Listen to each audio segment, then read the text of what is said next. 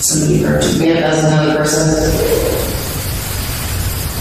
You fears may have really started to kind of aggravate me a little bit. I'm kind of, again, like I said in my other ones, I'm kind of insulted. I really am. I'm kind of, my feelings are kind of hurt. They really are.